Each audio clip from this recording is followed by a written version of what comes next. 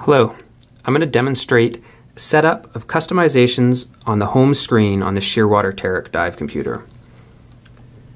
I have two Terics here, both in the open circuit technical mode, but the screen looks different because this one is set up with smaller fonts showing four pieces, four rows of information, whereas this one has three rows of information with larger fonts. And this option of using a big or standard layout is available in all operating modes. And I will show you how to adjust that now. We'll press menu to bring up menu and scroll down to settings and we'll enter into the dive mode setup. And I can now change the layout to a big or standard layout. Now this layout, home screen, and function button setup uh, are independent for each modes. So in Open Circuit Recreational, I can configure those differently than I would for technical mode, and it's not going to mess with my technical mode setup. So in technical mode, I'll leave it at standard, and now I'll show you how to set up what's on the home screen. So I come into this menu and I can change it between one, two, or three uh, pieces of information. And then both of those pieces of information I can pick from a large list of options. So I'm going to put the decompression tissues bar graph there, and I'm going to put the current um, AI tank pressure uh, beside it. And now we will go back to the home screen and take a look at that. So what we've got is that those information there on the home screen. And the gas used to be here. And because the gas is a piece, important piece of information, if it's not being shown anywhere on the screen, it moves down here to the bottom. So this is a currently selected breathing gas.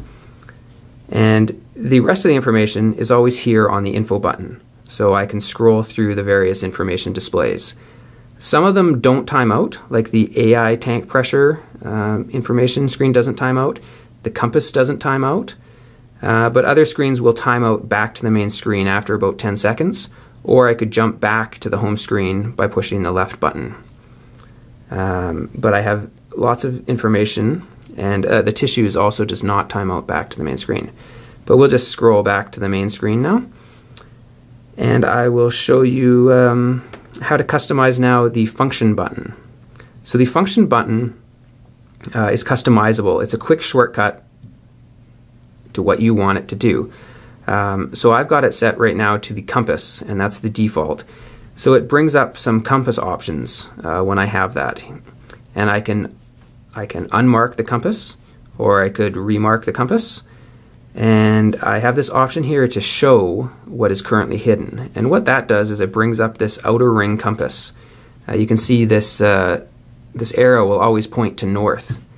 And then when I mark the compass, I get a green mark uh, at the heading I marked. And it makes it easy to find your way back to where you've marked. Uh, note that the battery won't appear during a dive, so it wouldn't be in the way there.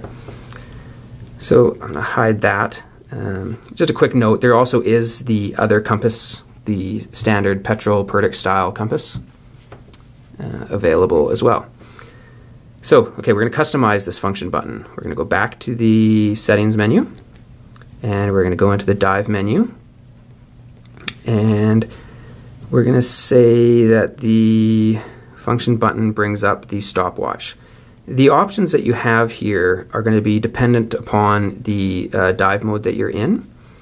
Uh, what I'm also going to do is I'm going to change uh, this to show the stopwatch.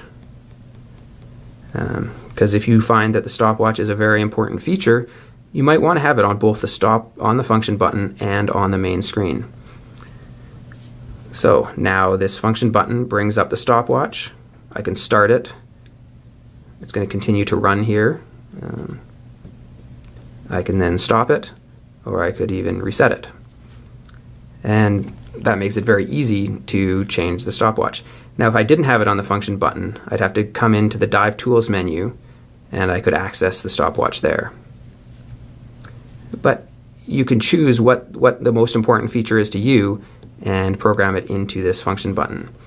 Uh, a few more things to go through about these customizations is that in the open circuit technical mode, in all the technical modes, including the closed circuit with bailout, If you're using the big layout, you lose that home screen customization. Uh, so you can see in the standard layout, the home screen customization is there. Big layout, no home screen customization. And that is because for technical decompression dives, uh, this decompression information and time to surface information are very important planning uh, and uh, current state uh, information displays. But in other modes, such as the open circuit recreational, uh, you do have some customization even in the big layout. You can't change this NDL, uh, the decompression stops would show in this place as well, or safety stops show here as well. You can't change that, that location, but I can set up the, um, the other location to show you know, what's most important to me. And so there's um, lots of customizations that we have on the Teric, and you can you know really customize it to your diving and what works best for you. Thank you.